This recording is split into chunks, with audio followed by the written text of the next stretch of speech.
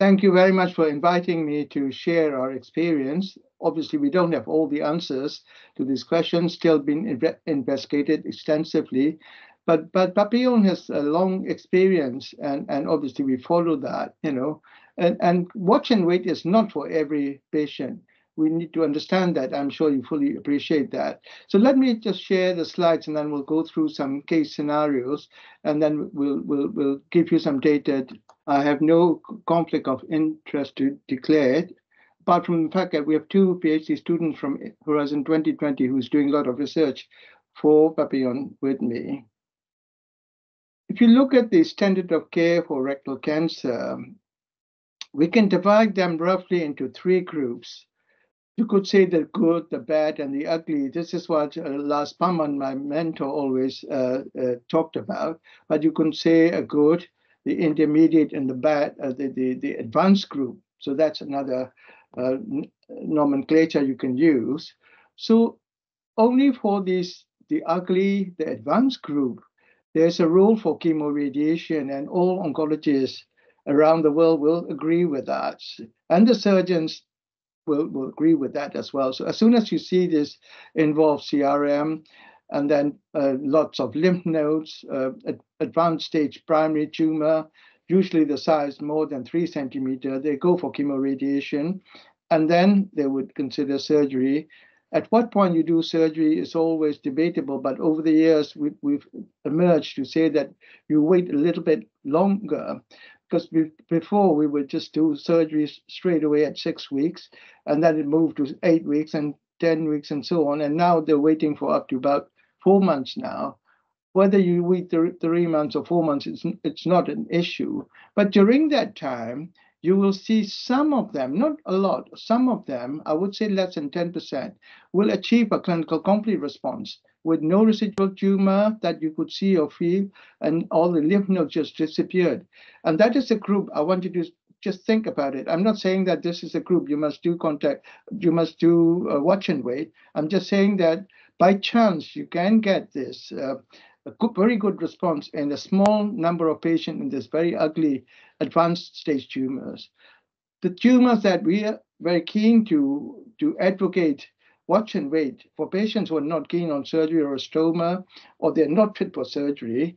Then the OPERA, the randomized trial, looked at this middle group, the intermediate group, up to T3A and B, some lymph nodes, but not uh, more than two or three.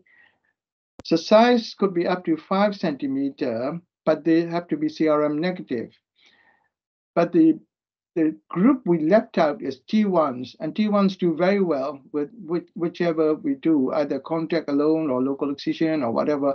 And this is a, a bit more controversial group. So let's concentrate on the middle group. Let me take you through the story with one of these gentlemen, uh, my prize patient, who was 79 in 2009. And he had rectal bleeding. He had a scope, and that shows a tumor, as you can see here.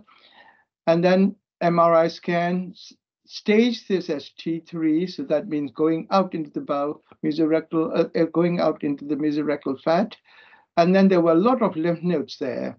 So in the MDT, like you were doing, I had MDT at, at Southport, where this gentleman was, and then I raised my hand and said, well, that, that's to chemoradiation, and everybody agrees. And then six weeks later, he had a scan. And then we look at the scan. At that time, I can't show you the big pictures, but you, you have to believe me that there was hardly anything you can see on the MRI.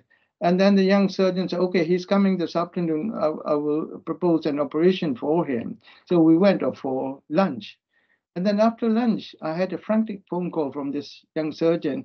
Sonny, this guy got cancer and he wants to go skiing. So I said, Have you scoped him? And he said, No. So I went across the room and then scoped the patient together. So when we actually scoped him, there was hardly anything to see. But when you actually put your finger, you can feel something underneath. So obviously, not all the tumor has gone. So I said to the gentleman, You go skiing next week. Uh, when you come back, I want to do some contact radiation. And he said, I don't care what you do so long as I don't have a bag. I don't want a bag because I, I go skiing twice a year. And in fact, this was in Switzerland, actually, uh, one of your hills. He, he was skiing. He goes twice a year uh, around this area to ski. So when you are faced with patients like that, the MDT recommendation was to go for AP resection when there's a residual tumor. But they, all these recommendations are based on various guidelines and published evidence. And MDT don't usually think too much about um, uh, the, the contact radiation or organ preservation. They have to do what is best for the patient that they consider is best for the patient, not what the patient choose or what they want. So this is where where the gray area is, and I'm very pleased that you started to think about organ preservation for some of your patients. And the dilemma is what to do when the older patient who is very fit refuse surgery as he doesn't want a stoma. We've got to think of other innovative way to solve this problem because the dogma, the gold standard of care is still surgery and they need to understand that.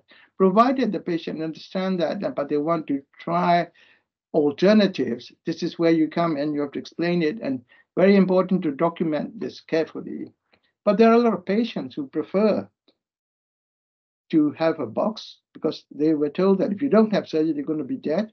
And they, they say, yeah, let me die, but I don't want a stoma. Or there are other, with all these you know, medical uh, problems like rheumatoid arthritis, unable to cope with the stoma. Uh, and then you have to think of alternatives. Sorry, was was there a question or just a comment? No, no, no. no. Okay, I'll carry on. So then there are patients like my gentleman, who's we call Don. He's a retired lecturer, actually, from university, uh, saying that I don't want your surgery. There is the data from Professor Simon Bach, who some of you may know, surgeons may know, and this is his 1,000 patients.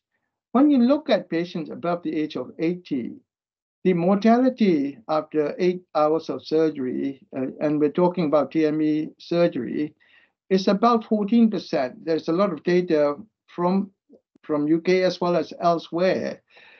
And if they are above the age of 90, the, the 30 day mortality is 25%.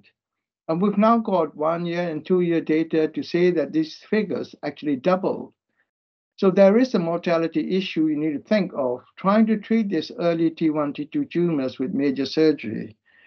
And then you have lots of these comorbidities. Usually these have got one or two or three comorbidities, and sometimes they are quite overweight patients. You don't see that very many in Switzerland, but in UK, there are plenty of these old folks who are grossly overweight. And you've got to think of how to get through this apron, you know, to get your stoma out. And they didn't manage to get it out, you know somehow. But important thing is all these countries, I'm sure you will you will be doing this national bowel cancer screening program with uh, with the with the FIT test and and and FlexiScope and so on. The idea of doing these national uh, cancer screening is to pick up early stage cancers, and the uh, the the UK data is predicting that you should pick up at least um, uh, half of these patients in Dukes A, where you can cure majority of these patients. Because we were seeing at one point 20% of Dukes D with liver mets and lung mets. Through bowel screening, they were predicting that you'll see a lot of early tumors. And this is no longer a dream, it's a reality now. This is the bowel screening in Liverpool. Professor O'Toole share his data. And we're seeing a lot of these polyp cancers when we get these polyp cancer, you can't go on and do AP resection. And this was done in the past in good faith to say that the best treatment for rectal cancer is AP resection. And there's a lot of variation between different hospitals. I'm not going to go through which hospital, but some of them are doing up to 50%, some are doing less than 10%. But the reality is when they do the AP resection for these very early tumor, 32%, a third of them has Dukes A carcinomas. So obviously, this is not appropriate treatment in this day and age for early small tumors to do an AP resection.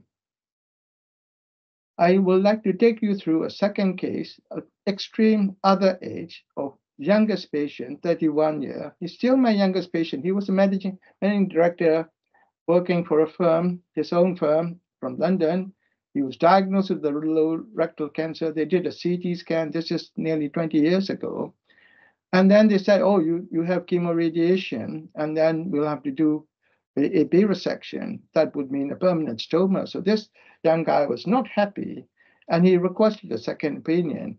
When we were asked that this young guy, 31 year old, wanted a second opinion, I said, we don't do 31. Usually what, what we do is the elderly patients, you know, 80 or 90, who we give second opinion to, but not to the youngsters. You have to go for an operation. He said, no, no, no. After chemoradiation, they're going to do, give it back, and I don't want that. So he came up to see us, and that was his tumor. I said, this is too big. I can't do Papillon on that. He said, no, no, no. I'm having chemoradiation at St. Bartholomew Hospital next week. Will you see us see us before uh, they do anything? So I said, normally you go for surgery and you have to accept that. And he said, no, they were going to give me a stoma. I will not accept this. So reluctantly, I looked at the surgeon. He looked at me and we said, okay, we'll have a look. So when he actually came back, there was hardly anything left. You know, there was a little bit you can feel uh, in the middle, like the same um, we have with this first case.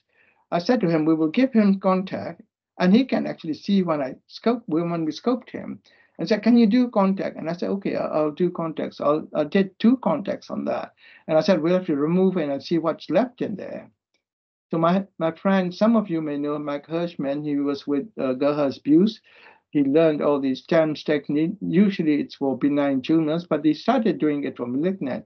And he's the second or third case that we did TEMS on in the country, and that's a TEMS apparatus. I won't spend time uh, describing it because some of you are surgeons in the, in the audience. So what he did was remove quite a big chunk of tissue.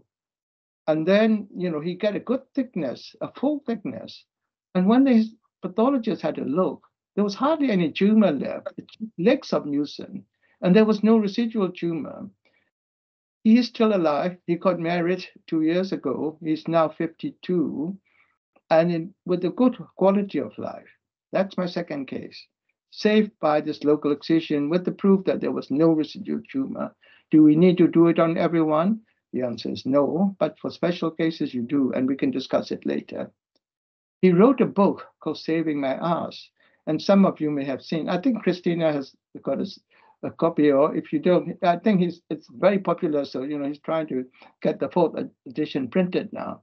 But what he said in his last edition was, cancer journey is not just about surviving, but we need a good quality of life after surviving, and that's what he tries to do.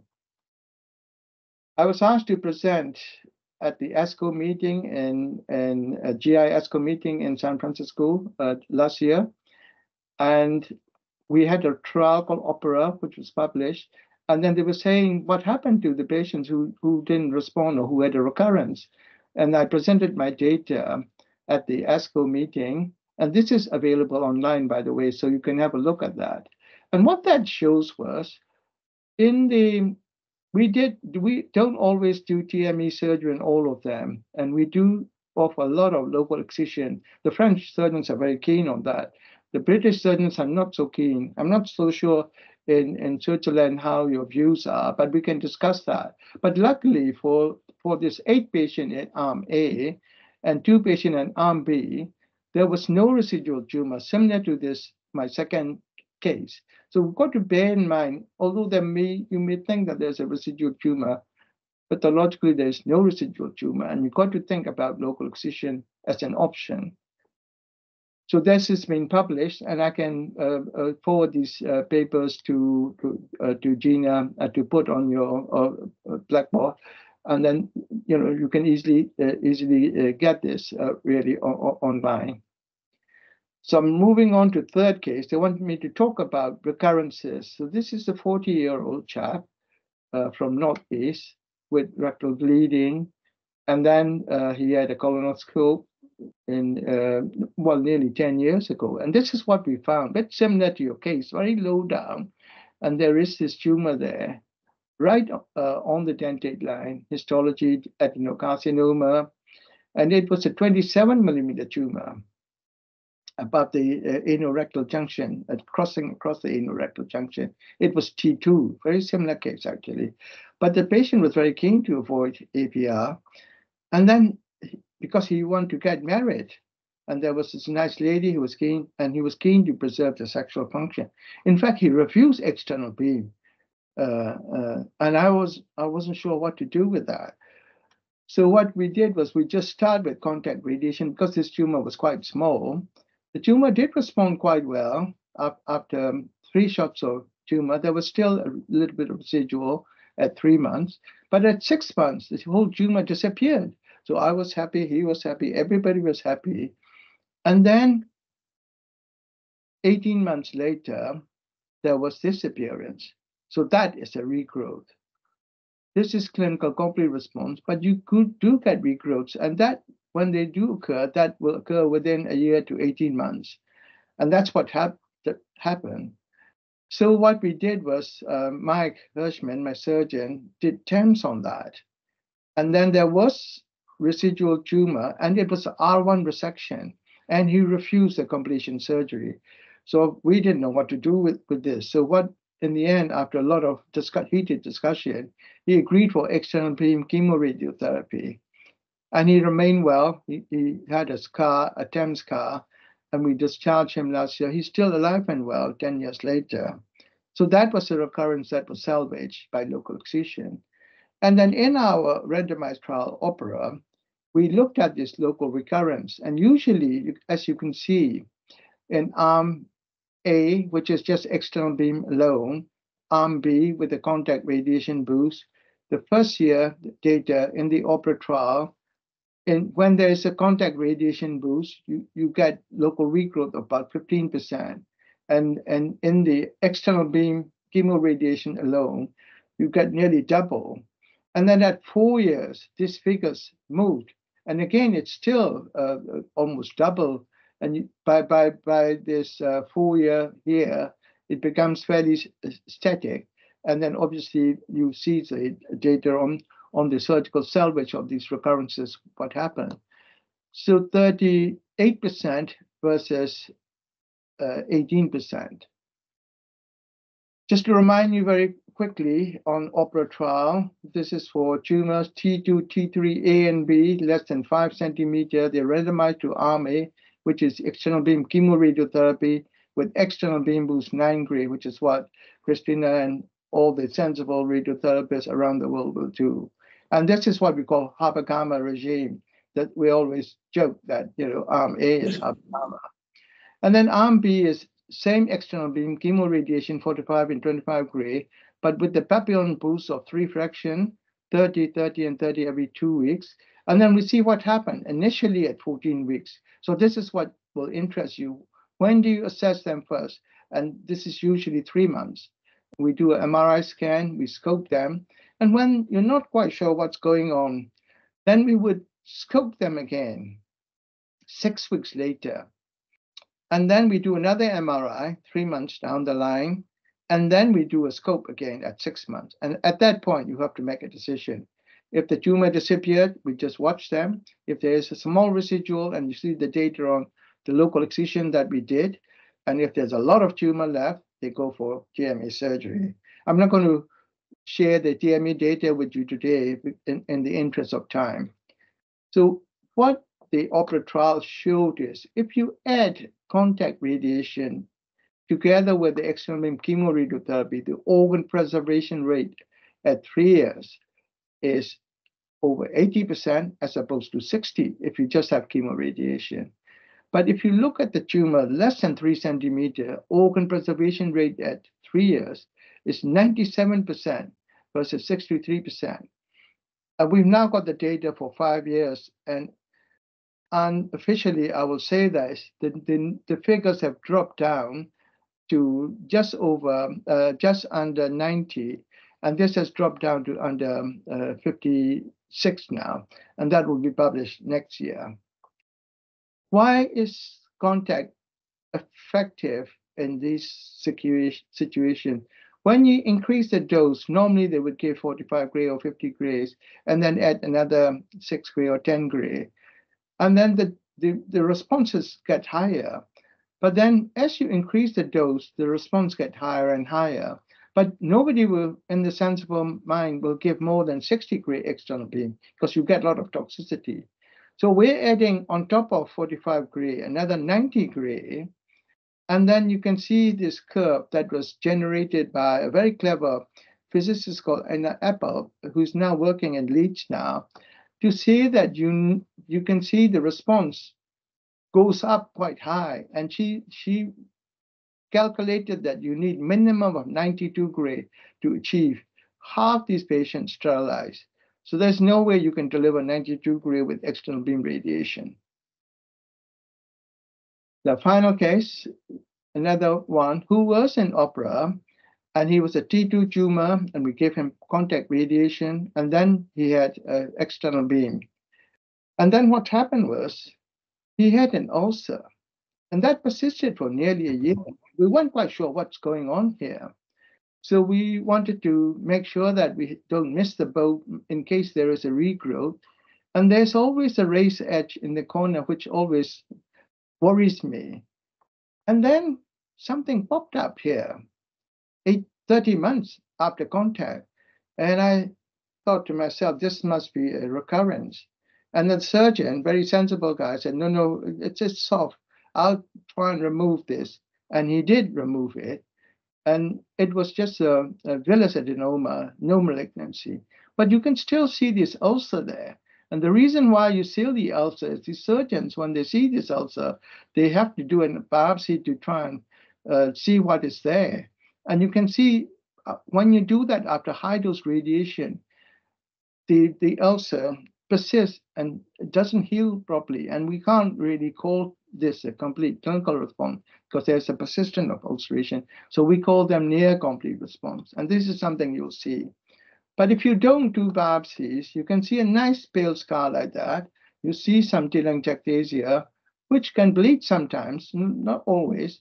But if they are on uh, uh, anticoagulants, or, or, nowadays you have uh, all these um, um new agents, oral agents, they tend to bleed a bit more. And then in 10% of our cases, we would need to do argon beam to try and seal these, and that stops the bleeding.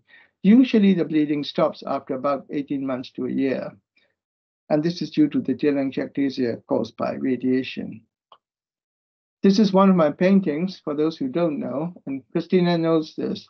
So this is one of my paintings that was used in the in, in the American Oncology Journal in 2014. This is a, a, a picture from Burma, where where I originally come from. Now, I want you to read this, and th with the permission of Matthew and Joyce, I just got that last week. And he was so thankful. Your machine is a great success in Holland. They now got two machines now in, in Netherlands, one in Amsterdam, one in Eindhoven. This is where this gentleman comes from. And he was actually on the table that the, the Harm Rutten, some of you may know, was going to operate. And then at, at GA, the tumor was moving so freely. Harm said to, to himself, This must be a T1 tumor. I can't operate on this chap because he doesn't really want it. I forced him to agree for surgery. And he did. So he he he rang me actually while this patient is asleep. Sonny, could you do contact on this chap? So I said, yeah, but he has to come over to Liverpool. Oh, yeah, yeah, he will come. So he wake him up and he told him about this. So they came over a week later and then I treated him. I'm not going to show you all the pictures. He's now nearly 10 years out and he's alive and well, still driving the taxi in the, mo- in the daytime. In, in evening time, he sings and they entertain beautiful wife who also sing. And they were saying that he met a lot of these customers and obviously they, they now got uh, two machines so they, they've come across five customers. And he was thanking me for saving these young people from a stoma back for the rest of their life. And he said i will never forget. So this makes you feel good when you see this sort of thing happening and people appreciating what you do for them. So take home message is plan organ preservation. You need to plan it beforehand before you even start the treatment, your MDT is a good point to start. You should start with contact if the tumor is less than three centimeter and patients were not keen on major surgery. or a stoma. And that's been shown in the OPERA trial to have the best result, 97% versus 63. For larger tumors like your gentle uh, patient, you start with external beam chemoradiation.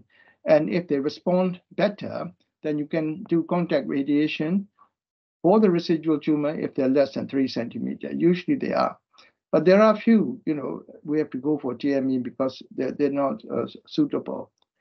An OPERA phase three randomized trial has shown that if there are any local failures, either immediate local failures with persistent disease or regrowths after um, uh, waiting for six months or more, then you can do salvage surgery without compromising the chance of cure.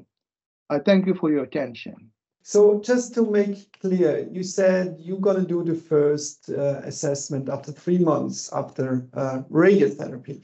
Uh, would you still calculate these times, or do you calculate these times differently if there has been an additional chemotherapy uh, phase after the radiotherapy? So do you do your first assessment after radiochemotherapy or radiotherapy, or do you say if there was a systemic component added after the radiochemotherapy? We do this later because uh, there are still some kind of treatment also uh, going to the tumor. Or do you still think it's after radiotherapy, the three months you have to assess? So if you do a TNT approach, it might be, you know, that you have systemic therapy still after radiotherapy. Uh, yes, uh, but because that was exactly what uh, Habr-Gama did. So what she did was to give some just ordinary 5FU um, during the time we're waiting. And now the modern thinking is we give more and more aggressive chemo uh, with, with, this TNT uh, approach, you see. So people who, who have more aggressive tumor, younger patient with EMVI, like this, your patient, we would give chemo. And that's a time we don't want to waste the time. So we will be assessing while they are having chemo at three months. So usually they finish, whole cycle will finish by three months. And you assess it as a first phase. So it's a continuing assessment, not just one stop assessment. Just an evolution of what's happening to that scar, what's happening to that ulcer. If it is healing, you just masterly inactivity, as my professor would say, not doing anything on that scar or, or, or the uh, or the ulcer, and then you, you make a final decision at six months. So we would get carry on observing during the treatment in the first phase. But obviously, for very early stage tumors, you won't do TNT. But for middle and the later groups, you know, there's a there's a vogue to to do more chemo and and and and then you know give as much as you can before because the risk of metastatic disease is high in these patients. But in our experience with OPERA for the intermediate groups, the risk of distant mets is less than 10%. So we don't tend to give any adjuvant chemo or neoadjuvant chemo to any of our patients. I don't know whether that answers your question. Yes, yes, I think that's that's clear. So you take as the important point the end of radiotherapy, the local therapy to assess after three months, and if there is still additional chemotherapy, you would not consider this to be calculated, mm-hmm. uh, or, or, you know, yes, not no. to be calculated for the three months after the end of therapy. So the after the end of therapy is after the end of radiotherapy or the local therapy. That's that's clear. And you said the assessments, the important assessments are after three months and after six months. And you do the assessments by MRI, uh, yeah. by digital. You do you don't so what do you do with the assessment? You do MRI, you do endoscopy, and you do digital rectal uh, finger, correct? But you don't do any biopsies, correct? Never. No, but well, not never, because like my my my last case, who had a recurrence, when you can see something that is growing, you can take biopsies. Obviously, you need to have a definitive diagnosis before you offer him surgery. Okay, but if so, it's a flat scar or, or just an ulcer, we, we don't recommend doing biopsies. Okay, biopsy is only if you see something growing. Growing through the, from the mucosa.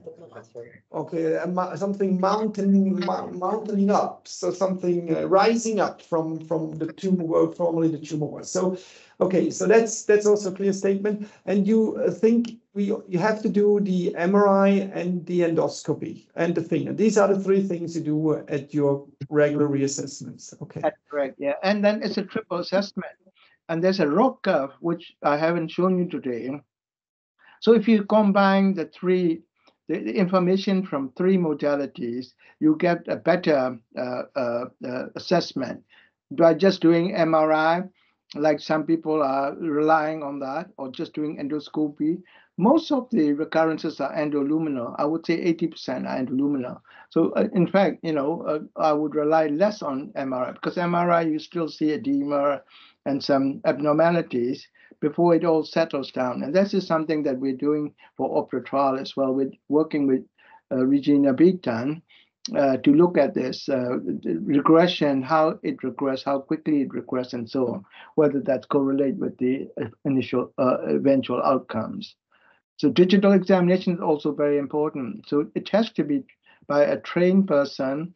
The same person doing it is better, or a, or or a, um, or a team who's doing it is better because you need to see the evolving, uh, resolving or evolving lesion.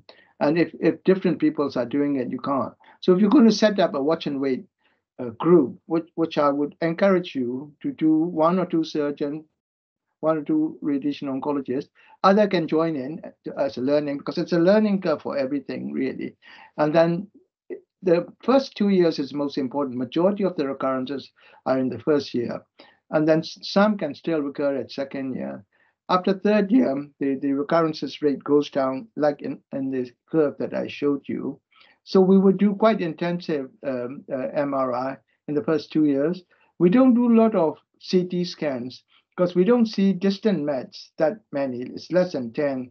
So we'll do one at six months and then 12 months and then 24 months. So it's less CT um, and more MR. And then again, MRs, we're just thinking of trying to reduce the frequency to four months in the second year.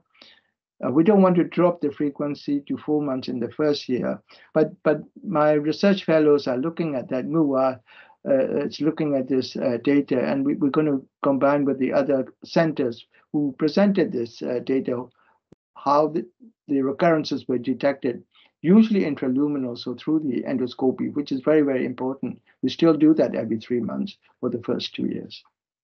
Okay.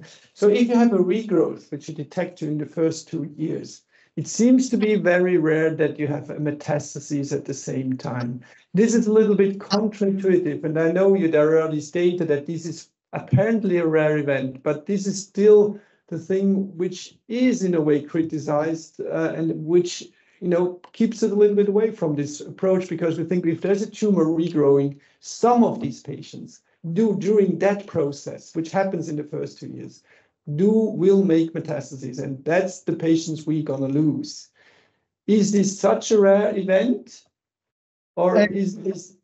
Yes, so I can't tell you exact figures on how many have local and distant the same time, and I will try and get that for you because I've got the raw data actually. I can find that out for you, but it is not common because usually the local regrowth is on its own, and you get distant mets separate actually. But there are combined uh, local regrowth and and and and distant mets. Maybe uh, Ngua in the audience, uh, she's looking at some of this actually. Ngua, can you answer that question? Unmute. Uh, so, so, sorry, please. Uh, sorry, can you please re repeat your questions, please? Yeah, yeah. So the, the, the, the question was, when there's a local recurrence, do you always yeah. see metastases? And I said, no, you don't always see distant metastases. Some of them local recurrence on its own, some of them are local and distant, and some of them are distant on its own. So she's looking at 600 patients actually. I don't know whether you had a chance uh, to answer yeah, that. Yeah, yeah. Uh, so I I have been doing on that, so I can share the data soon after I finish my analysis. So I'm doing on that too. Yeah. Okay, okay. So so we yeah. one one way invite us again. I, I'll try and share that for you. Uh, yeah. She's going to publish it anyway, so we will. Yeah, that, that's for us a very important question because it really is what keeps uh, doctors away to Awake night because they think they do a mistake and recommend some waiting. Yeah, yeah. And during that time, a metastasis, a metastatic process is going on, and we don't sleep well with that idea. So we think we have to do something earlier. That would really calm us down if we would know a number, how many patients do have actually have during that regrowth phase also a metastatic spread. I think that's an important. If we would have that number, very, very pleased to get it, and I, I know this would answer many questions here. Um, these are my burning questions. I will surely some others. Uh, I don't know uh, in the room here. Yes, Andreas, he's a surgeon, and uh, yes. Yes, hello, uh, excellent talk. Thank you very much for sharing the data. Um, you mentioned uh, that you wait in a tumor persistence up to six months. Yes, Um, do you wait in certain circumstances even longer, or is that your deadline? No, uh, because obviously I've been doing this for 30 years. And uh, in uh, some people suggest, well, like Habr-Gama say that you can wait longer. But now uh, uh, Rodriguez, who is a younger uh, member of her team, is saying that uh, at six months you should start thinking seriously about what next to do. So you don't have to do TME for all patients. I shared the data with the local excision. So persistent tumor, you can still do local excision, but you have to do full thickness really. Uh, and then obviously, you know, if, if you feel uncomfortable that, that doing a local low, uh, local excision, then obviously you do the TME surgery. But at that point, before you actually do it, you must get histological confirmation of invasive cancer. That's very important because I showed you one of the in one of the slides. 40% of patients who had local excision in external beam alone um, arm, there is no residual tumor at all. So although you see something growing or like like my last patient, there's something popped up and I was worried, but it was my surgeon who held my hand and said, no, no, it's soft. I'll just take it out and see what happened. And that was just a, you know, no evidence of malignancy in the histology. It was saved by the bell, actually. Does that answer your question? Kind of a step-up approach. Yeah, correct. Yeah. Okay. So and A- And so the local treatment they do, as you said just before, it's coming back with a regrowth, is a local, it's a TM, a TEMI. hmm? It's Yeah. not a TME normally. You can either do TEMS or TAMIS, but people are go, moving away from TEMS now. The, the, the, the, the, the Wolf company that makes TEM is no longer making it. So there's another company called Storz, which makes a small, smaller version of TEMS. And now you can do TAMIS, you know, if, if you're a laparoscopic surgeon, you, sh- you, you should be able to do that. But some people don't like doing it if it is very low and anterior. Usually the ones Mike Hershman like to do is to higher up posterior are easy because you're into you're not into the peritoneal cavity. And if they're lateral, depending on how far lateral they are. So from about three to six, seven o'clock, uh, he, he would be uh, quite happy to do uh, full thickness excision. But you do need histological evidence before you actually do uh, uh, TME surgery. Yeah, that's, that's was also impressive, this forty percent of, you know, finally, uh, no tumor in the TEM resection. correct, uh, correct. And That, so- Yeah, thank you. Uh, no, uh, yeah, I think it's, uh, for me, a very, uh, uh, important talk you're doing here, and for us, it's answering a lot of questions. We probably will still have some very, um, difficult cases, which we're gonna, uh, discuss a lot. And, there we, um, yeah, we will, might come back to you if possible. I don't know, Saskia, you had a case, you discussed a lot here. Do you want to briefly present that? We had a lot of discussion.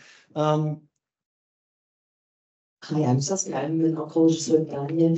Um, I'm very grateful having you here. It's it's a special uh, honor to have someone here who's really a, a professor with a high achievement in organ preservation, and it's it's surely something we should do in the future, and we should find the right patients to do that. I had one special patient, which we always, you know, discuss in almost every tumor board here. It was a special case. It was a 43-year-old patient with a rectal cancer, 23 millimeters from the anal cutaneous uh, line. Um, it was a T4 N, N2 um, N0 at this time, um, CRM positive NY3. Um, so um, a very um, long tumor with seven centimeters um, spreading uh, distance. Um, it was an ugly tumor, like you uh, said before, and um, we knew that would be difficult. Um, we performed TNT and staged him actually three months after the end of radiotherapy uh, or the radiochemotherapy, not after um, the last eight cycles of FOLFOX. Um, and we found um, a little odd ulcer in the end. We've been not very much experienced at that time, I have to say. We didn't know exactly how the ulcers look like. After this time, we had another patient, we compared with that. Um, and it seemed different. Um, so we did the bad thing, we biopsied at this time, and we found a lot of vital cells what we did then, we decided to watch and wait because he wanted to move um, to Singapore to perform a later uh, staging three months after the uh, first staging because we had a complete remission in all other pictures. Um, and what we found then, or what the colleagues now in Singapore found, um, had been um, hepatic metastasis. So oh. hepatic metastasis had been there already. We, we looked it up. Uh, retrospectively, they've been there um, at least from July, uh, um, uh, January um, 2024, which was um, three months after radiochemotherapy. So these metastases seem to grow under chemotherapy, um, chemoradiotherapy, and chemotherapy. Um, this is something special which we rarely see, I have to say, and this is, I think, your opinion too. Um, but what is your opinion about, in this case, especially about chemotherapy resistancy, or can you um, figure out or um, have an idea what is the reason why he didn't respond um, uh, in the liver and why we still had, even after three times papillon in between, um, still vital cells in the uh, rectal ulcer at this time? Yeah, obviously, you know, we don't cure everybody with papillon. And I always say that to the patients that, you know, there's no guarantee for cure. Or when I write a letter to patient, the standard of care is doing surgery that will give you the best chance of cure. We can give you papillon to improve local control, but there's no guarantee for cure. You need to understand that. And if there is a residual tumor or a recruit, you must go for surgery. So that's always in my statement. So that's what you have to do. You have to turn that into patient's head. And in your patient information sheets, you know, you have to write that. We don't always write about the metastatic disease. Uh, you're right to raise that actually, but we don't see a lot of metastatic disease um, in our patients. And we're looking at the immune response after contact. And that's one of the research that we are doing in Liverpool to see why we see so little uh, uh, metastatic disease. So we we felt that it's not just the function of dose, which is quite high. The the BED for this is six times higher than uh, 45 or 50 gray. Uh, the, the, what, what we give is about 300 equivalent of uh, of the external beam dose. And still, there are some uh, tumor clones are quite um, resistant to treatment. And again, that's one of the areas that we want to try and find out why these clones are so resistant to radiation. So you can't expect to cure everybody, obviously. And, and obviously, there are persistent clones in at least 10, 20% of our cohort, you know, of the patients that we treated. And obviously, the, most of them end up having surgery. But do you think this patient should have had an operation? Uh, no, there was a lot of debate about that in, in one of the meetings. Actually, I, I was in, uh, uh, in, in, Nice. Actually, Rosa Gerard Richard and all the world experts were invited, and I was there presenting my quality of life data, and and they were saying that should we should the patient should have should have surgery. But even if you have surgery and you you you know from your surgical experience that they can still have metastatic disease because these are the spread from the beginning micrometastases, which is hovering either in the lungs or liver, and, and they grow. Even after surgery, you can still have metastatic disease. Uh, lymphovascular invasion is now uh, known to be uh, uh um, uh, to be the important features. If you see this lymphovascular invasion, then these patients are likely to to, to, to relapse in future rather than the lymph nodes. So but you have two factors really, multiple lymph nodes and the lymphovascular uh, uh, invasion uh, features. So when you see that, that's one thing. The other thing is after chemoradiation, if there is persistent of uh, suspicious lymph nodes, that's one of the very bad uh, prognostic factors. And when you see that in young fit patients, then the recommendation is to follow them up quite closely because as you know nowadays metastatic disease is no longer a death threat now. If they go into liver one two three four five doesn't matter. They can still resect them and they can do a lot of things SBRT radio frequency ablation and in the lungs you know we, we do all sorts of things. And I, I have many patients I can show you with with multiple mets who survive 10 15 years now even though they develop metastatic disease, it's not the death uh, warrant for them anymore, like we have in the past. So the hepatobiliary surgeons are very good. The, uh, the, the pulmonary surgeons are very good resecting them. And we can do radio frequency ablation. We can do SABR. I'm sure Christina would be interested. And you have to give these choice to patient, really. And then with the chemo, again, you know, if you know the gene profile, you can give them, uh, you know, the appropriate uh, uh, chemotherapeutic agents, you know, which, which are now very, very powerful now.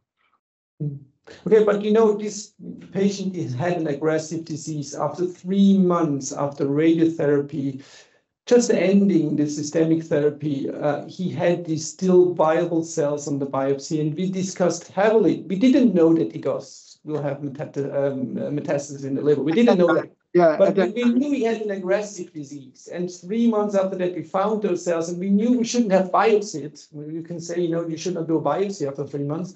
But I mean, with those findings, would you have said, you know, this is an aggressive biology? Most likely, this patient will need a local treatment, which is more effective than what we can offer or have offered so far, and he should go to surgery right away. Even if he does do metastasis to the liver, we can deal with that later, but he will benefit from this local definitive treatment. Would you have said this is should have been said and recommended, or do you still think yes, we can wait another three months. No, no, uh, no, no. So every time, at, at every stage, three months, six months, you have to discuss with patients. You know what, what, what, what, what did they want out of their life? You know, because my son-in-law, I, am sad to say, he was only 43 and he died uh, from rectal cancer with liver mets. From the beginning, he had bilobar mets. There are 12 mets, 10 millimeter, 10 centimeters actually. And then I told him from the beginning, you, I can't cure your cancer. And he said, I don't care what you do. I do not want surgery. I do not want a stoma. I'm going to die anyway. And he lived for about three years, you know. So you've got to discuss with the patient honestly. And then you have to say that, my, in my opinion, you should have surgery. What do you say? And patient may say, I don't care. I, if I die, you know, I don't want a stoma. So they they make a decision. You have to stress that you know um, that, that they have got aggressive disease. But you would have said at three months' time with the positive cells, you would have said this patient should be recommended surgery. No, not at three months. No, no, not at three months. Because when you when you take biopsies, what happens is you're taking a superficial layer of the mucosa, and after irradiation, all these cells look abnormal. So in our medical school, you know, um, Christina and I know that after radiation, we don't take biopsies on the cervix, carcinoma cervix. If you take biopsies on carcinoma cervix, which treated with radiation, you always see abnormal cells. You will always see abnormal cells. Just because you see abnormal cells doesn't mean that he's got a cancer in, in this specimen. So thank you very much. Yes, this was uh, part of our intensive discussion. So, yeah, yeah. No, so no, it's a very questions. good discussion. And I said to this company, the girl I was talking to, Gina, that when we have cases, I'm very happy to join in your discussion. You know, I can do it online anytime because Christina unofficially do that with me anyway. So she'll just ring me or send me a uh, send, send me an email uh, and then we discuss it. So when you have interesting cases, I'm very happy to join in. You know, uh, Tuesdays are good for me, and this time is fine. I usually, uh, you know, I'm at home and I can join in anytime. Very happy to discuss cases with you. But if you set up the watch and wait clinic, that could be something, you know, because obviously you, you, you got a lot of experience and you, you do run it properly. And this could be a international referral center for, for, for difficult patients, you know, and then we can discuss it. And I can get my, my mentor, Jean-Pierre Gerard, to join in and you can, you can give a very, very good opinion to these patients around the world, actually. That, that would be absolutely marvelous, marvelous, because we really want to do this. We want to go ahead and, and be this reference center here in Zurich. And, yeah. and you know, we are looking for these experiences and for these cases. We, we are having them already. We're already having the questions and we're having the dedicated team here also to do it. And yeah. we are keen to go ahead. And yeah. Uh, we're really pleased if you could join us on difficult cases. Oh, very, very, very, Just send me an email uh, and, or do it through this uh, company and then I'll be very happy to, to join in. But the important thing is to keep data. Data. I'm, I'm sure you all are very precise people and got got funding for it. So keep a, a record of everything that you've done. So in years to come, then you'll be able to look back and you can you can tell others that you know this is what you should be doing. And I'm very, very happy to uh, uh join in with these discussions. Yeah, we are entering the data also. We publish as a, I mean, Christina's about to publish a, series. We are entering into the international watch and wait database, our, our data. So yes, uh, we, we, we surely have to do also the quality uh, assessments uh, going right. on. And quality yes. of life and cost effectiveness and all this sort of thing, really. Yeah. Uh, and the patient's choice, you know, uh, this is the other thing. So you need to talk to them make them understand this is not a standard treatment, but still others may choose to die. You know, as I said in my cartoon, you know, they rather die than have a bag. And th- there are a lot of people, when Papillon fails, I have to talk to the patient, and some of them are very fit patients. You know, these are SAS, you know, soldiers, six foot seven. They said, I can't live with this. And then, you know, I have to sit and watch him grew, the tumor grows, and he had metastasized and he died. You know, and my son-in-law is the same. You know, he he never had a local uh, recruit. His was a T4 and 2 tumor, primary tumor. Luckily, he responded to external beam chemoradiation and some neoadjuvant chemo. And I have to take him to Nice to my mentor Jean-Pierre Gerard because I I don't have the heart to treat him. So he had three uh, shots of papillon. And this big tumor never came back, actually. Um, and, and it was good for him because he, he would not agree to have surgery. So we have to make patients understand and got to respect what, what they say. Okay, thank you very much. I don't know, uh, Christina, you have a question? No, I don't have a question. thank you. Actually, the other thing I wanted to hear tonight is that you don't have to biopsy after three months. Yes. And if the biopsy is positive after three months and you have a clinical complete response, at least on what you feel on the finger, on what you see on the scope, yeah. you can still wait three months. Yeah, yeah, yeah. And but, to the question, Danny, the EBV database published this early this year an update, and yeah. they showed that actually if you make a second assessment, a good yeah. portion of the patients that are in near complete response yeah. three months after achieved complete response. Yeah. And actually, you have a higher risk of metastasis if you have a local relapse and you don't react to local relapse. So the tumor is still there and you don't do nothing. Of course, the patient has more chance to have a metastasis later on. But if you react on the after six months, after six months, and the growth, and totally yeah, yeah, growth. Yeah, yeah, yeah. yeah. That's the, the the data from Parrots. Yeah. Yeah, well, you must always have full discussion with the patient and document what what is being agreed. You know, they need to understand the risks that they're taking, and there are people who will take the risk and rather than have surgery. But majority will agree to have surgery, and that's good. But even if you have surgery, and our data said, you know, they still have distant mets, you see, afterwards.